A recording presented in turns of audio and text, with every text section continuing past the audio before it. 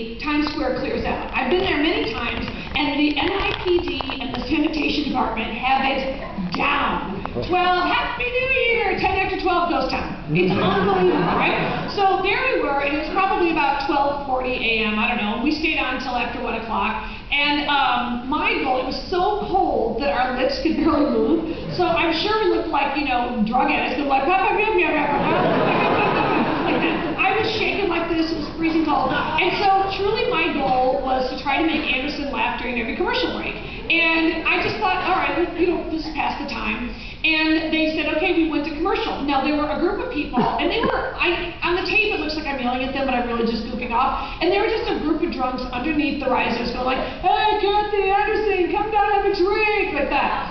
And so I turned to them during they said we've gone to commercial, and I said, shut up! I don't go to your job and knock the dicks out of your mouth.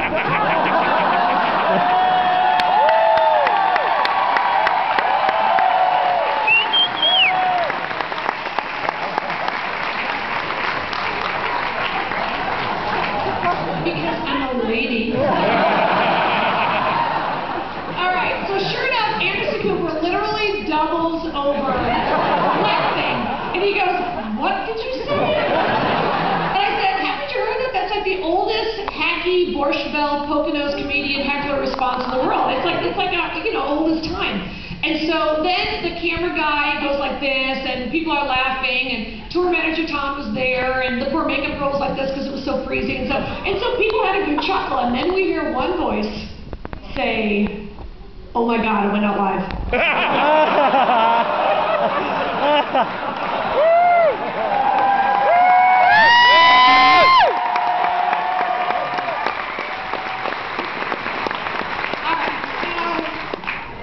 I'm used to this. You tell Jesus to it, you're used to this sort of thing. And so, so I turn to Anderson and I just go, are you in trouble?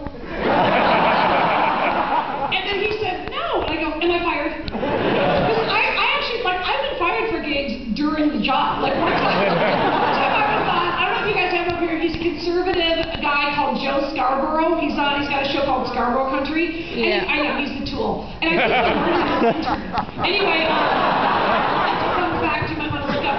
Anyway, when I was on Scarborough Country, which by the way is not an actual country, you should know that. And, and I, was, I was on and we were getting into some sort of fight about gay rights, and of course I was trying to stick up for the gays or whatever. But anyway, I literally got, I got fired during the show. So we go to commercial break, and I'm sitting there thinking, you know, I've made my point. And somebody from the show comes and they're like, oh, right this way, Miss Griffin. And I